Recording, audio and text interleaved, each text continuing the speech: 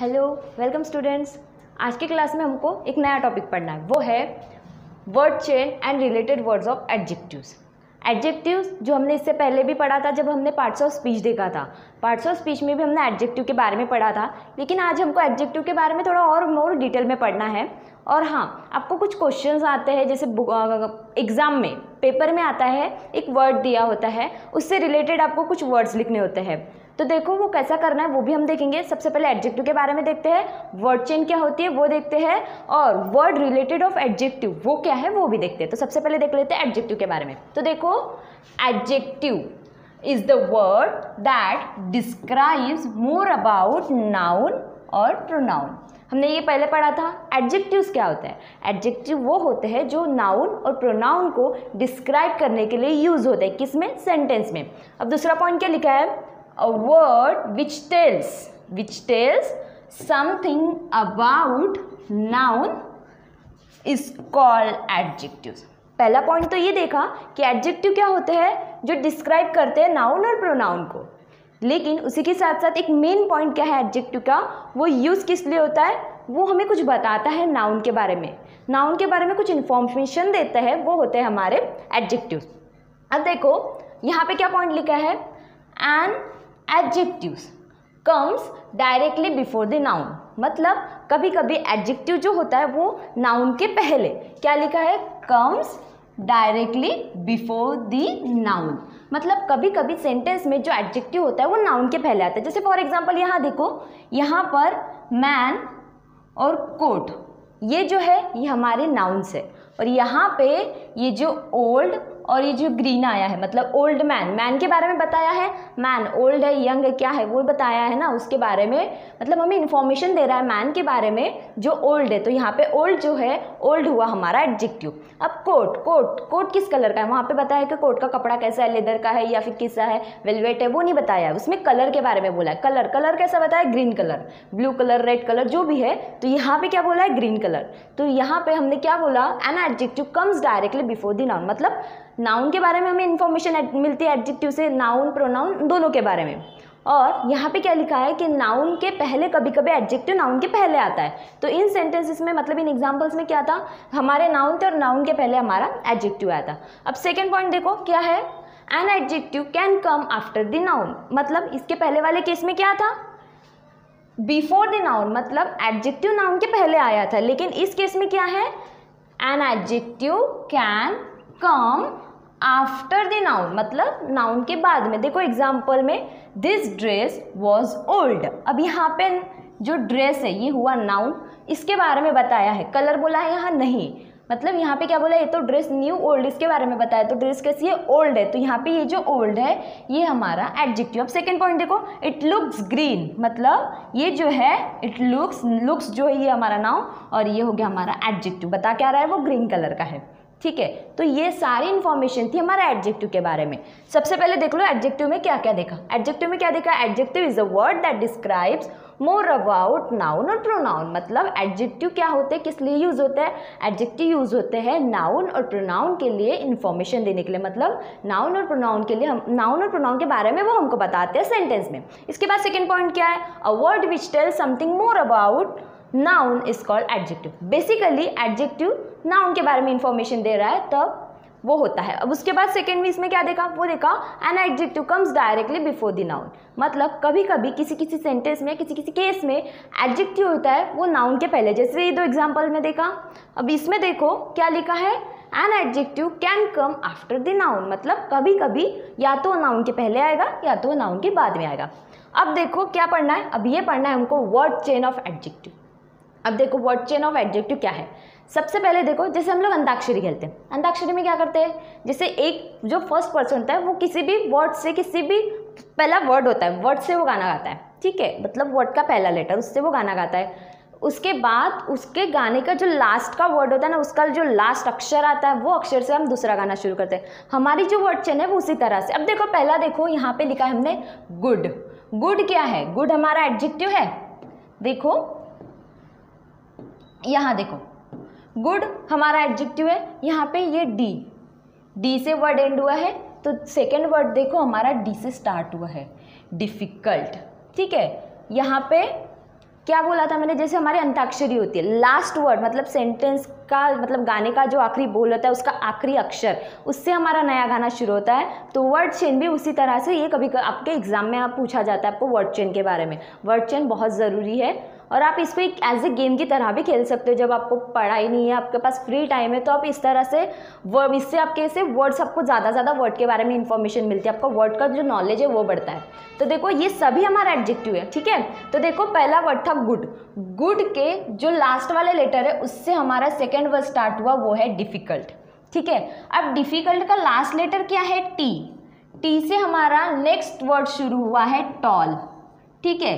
अब टॉल का जो लास्ट लेटर है, वो है एल एल से हमारा नया वर्ड स्टार्ट हुआ है लॉन्ग एल ला मतलब स्टार्टिंग वर्ड है इसका, और इसका एंडिंग कहाँ पे हुआ है? जी से हुआ है। तो हमारा नेक्स्ट वर्ड जो है ग्रेट ग्रेट का जी जो है, इसकी स्टार्टिंग है ठीक है? यहाँ पे हमारे फ़र्स्ट वाले वेट चेंज खत्म हुई है। यहाँ से नहीं कि हम लोग, आप चाहो तो इसके आगे शुरू कर सकते हो। टी से आपको जो लिखना है अब यहाँ से आगे से शुरू कर सकते हो। ठीक है? अब यहाँ पे देखो सेकेंड वाले इसमें देखो। यहाँ पे लिखा है वर्ड ब्रेव ठीक है? ब्रेव स्टार्टिंग बी से इसके पहले कोई वर्ड होगा जो बी पे एंड हुआ होगा तो इसको हम बी से स्टार्ट किया। अब देखो, ये एंड हुआ है ई e पे। तो हमारा नया वर्ड जो है एक्सपर्ट स्टार्ट हुआ है ई से और एंड हुआ है टी पे। ठीक है? अब ये जो नया वर्ड आया है, ये टी पे एंड हुआ था तो ये कहाँ पे स्टार्ट हुआ? टी से स्टार्ट हुआ। ठीक है? और उसके बाद वो जाके एंड हुआ है एन पे। अब नया वर्ड नया वर्ड स्टार्ट हुआ है एन से और एंड हुआ है डब्ल्यू पे। और उसके बाद का जो लास्ट वर्ड है, उसको भी देखो स्टार्ट डब्ल्यू से हुआ है और एंड टी पे हुआ है। यहाँ पे ये चेन खत्म हुई। अब चाहो तो इसके आगे इसको, अगर आपको और इंटरेस्टिंग करना है, और पढ़ने में इंटरेस्ट आ रहा है तो आप इसको आगे कर सकते हो, ठीक है? अब देखो नेक्स्ट यहाँ पे पुअर ये सभी जो वर्ड्स हैं ना, ये सभी एडजेक्टिव है, ठीक है? ये मतलब किसी ना किसी को जैसे डिस्क्राइब करना नाउन को या प्रोनाउन को डिस्क्राइब करने के लिए हम सेंटेंस में इनमें से किसी को भी यूज़ कर सकते हैं, ठीक है? तो ये सभी वर्ड्स जो है वो एडजेक्टिव है और ये एडजेक्टिव की वर्ड चेन है। मतलब एक स्टार्ट हुआ है, उसके एंड से नया वर्ड स्टार्ट हुआ है। अब इसके एंड से ये वर्ड स्टार्ट हुआ है। देखो कितना इंटरेस्टिंग है, ठीक है? वर्ड की जो एंड वाला जो लेटर है, उससे हमारा नया वर्ड स्टार्ट हुआ है। अब यहाँ पे देखो पी पे स्टार्ट हुआ है तो इसके पहले का कोई वर्ड होगा जो पी पे एंड हुआ होगा। अब यहाँ पे ये आर पे एंड हुआ है तो हमारा जो नया वर्ड है वो आर से स्टार्ट हुआ है। जो एंड हुआ है एच पे, और इसके बाद का जो नया वर्ड है वो स्टार्ट हुआ है एच से और एंड हुआ है टी पे। अब इसके बाद वाला वर्ड ऑब्वियसली टी से स्टार्ट हुआ है एंड हुआ है वाई पे। वर्ड क्या है? टेस्टी अब ये लास्ट में यंग वाई से स्टार्ट हुआ। क्यों? क्योंकि ये वाई पे एंड हुआ था, ये वाई से स्टार्ट हुआ और एंड हुआ जी पे। इसके बाद वाले भी है तो आप चाहो तो कर सकते हो। तो देखो वर्ड चेन थी, बहुत सिंपल है, लेकिन एग्ज़ाम के लिए इंपॉर्टेंट भी है और नहीं भी एग्ज़ाम के लिए तो आपको इसके बारे में नॉलेज होना ज़रूरी है। ठीक है वर्ड चेन का। कितना सिंपल था, क्या था? जैसे हम लोग अंताक्षरी खेलते हैं, उसी तरह से हमारी वर्ड चेन है। एक अंताक्षरी समझ लो वर्ड्स की। किसमें? सिर्फ़ एडजेक्टिव बाकी किसी तरह के वर्ड यूज़ नहीं हुए यहाँ पे।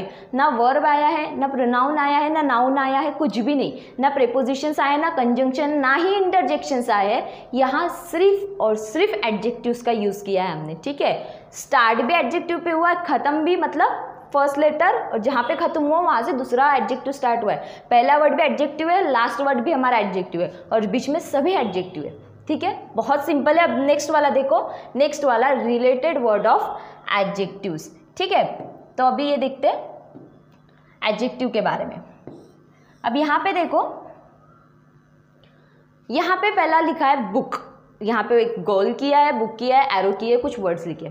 आपको पता है एग्ज़ाम में आपको इस तरह से आता है। जैसे पैराग्राफ हो, सीन पैराग्राफ या अनसीन जो भी है, उसमें से आपको एक या दो वर्ड दिए होते हैं, ऐसे बॉक्स में लिखा होता है और आपको बोला जाता है कि आपको उससे रिलेटेड वर्ड लिखना है। तो रिलेटेड वर्ड का मीनिंग ही होता है कि आपको उसके एडजेक्टिव्स लिखने हैं। वहाँ पे आपको नाउन दिया होता है, यहाँ पे आपको जो दिया है, ये हमारा नाउन है।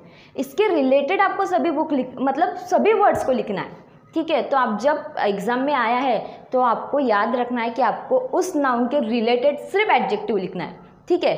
तो यहाँ पे हमारा नाउन है बुक ठीक है? बुक है, अब ये जो सारे वर्ड्स यहाँ पे लिखे हैं, वो सभी उसके एडजेक्टिव है।